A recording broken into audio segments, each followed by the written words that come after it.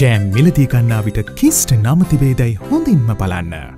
ජනාධිපති ගෝටාබේ රාජපක්ෂ මහතා දුරේ නිවත්වීමේ ගෞරවේ හිමිවේ යුත්තේ රටේ සමස්ත මහජනතාවට බව ගෝල්ෆේස් අර්ගලකරුවන් පවසනවා. මේ පාර්ලිමේන්තු ඇතුළේ සූදානමක් තියෙනවා රනිල් වික්‍රමසිංහ නැවත පාර්ලිමේන්තු ඡන්දයක් ඇතුළේ ජනාධිපතිවරයෙක් විදිහට පත් කරගන්න. 69 ලක්ෂයක් ජනවරමක් තිබිච්ච ගෝඨාභය රාජපක්ෂ පළවා හරින්න මේ රටේ ජනතාව පෙළගැසුණා. ජනවරමක් අහිමි වෙච්ච රනිල් වික්‍රමසිංහට ඒ පුටුවට යන්න තියෙන අවස්ථාව අපි කොයි ලෙසකවත් ඉඩ තියන්නේ නැහැ. මේ රට තවදුරටත් අරාජික කරන්න අපි අරගල කරුව විදිහට සූදානම් නෑ. එහෙම තත්ත්වයක් ගොඩනගෙනවා නම් ගොඩනගෙන්නේ මේ රනිල් වික්‍රමසිංහගේ ක්‍රියාකලාපයන් නිසා. අපි කියා සිටිනවා ගෝඨාභය රාජපක්ෂ ගැන ආපු ජනාධිපති කෙනෙක් අපිට අවශ්‍ය වෙන්නේ නැහැ තවදුරටත්. අපි කියා සිටිනවා සීලුම පාර්ලිමේන්තු සභිකයන්ට ජනතාවට එරෙහි වෙලා ඔබ ගන්න තීරණ තීන්දුව තාමත් තීරණාත්මකයි හේතුව පසුව ඔබ නැවත ජනතාව ඉදිරියට එනවා නම් ජනතාව ඉදිරියේ ඔබ ප්‍රතික්ෂේපයට ලක් වේවි හේතුව ජනතාවගේ කැමැත්ත පීඩිතයාගේ කැමැත්ත ජනතාවගේ පැත්තේ හිට ගන්න කියලා අපි ඉල්ලා සිටිනවා. වික්‍රමසිංහ මහත්තයෝ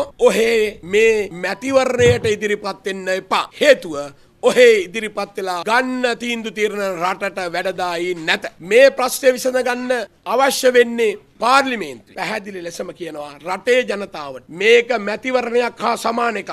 ඒ නිසා ඔබේ මන්ත්‍රීවරයා කරන දේ පිළිබඳ අවධානයෙන් ඉන්න. අපි ඔබ සියලු දෙනා එකතු කරලා පරාජයට පත් කරේ මේ මතුවෙමින් ආපු ජාතිවාදී සහ මේ කුණු ගඳ ගහන දේශපාලන සංස්කෘතිය. ඒකේ දැන් කප්පිත්තා. ඒකේ නායකයා බවට පත් වෙලා ඉන්නේ රනිල්. ඒක නිසා තමයි අපි කියන්නේ රනිල් පරාජයට පත් කරන්න ඕනේ කියලා. ඔහු නිශ්චිතව මැරේ. ඒ වගේම අපේ ලංකාවේ මහ බැංකු මංකොල්ලට මැදිහත් වෙච්ච නායකයෙක්. එතකොට මෙන්න මේ ක්‍රියාවලිය නිසා තමයි අපි කියන්නේ රනිල් ඔයා රටේ ජනාධිපති වෙන්න අයිතියක් නැහැ.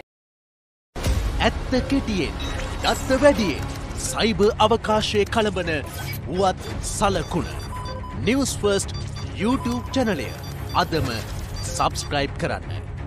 නිවස් ෆර්ස්ට් ජනතාව සමඟ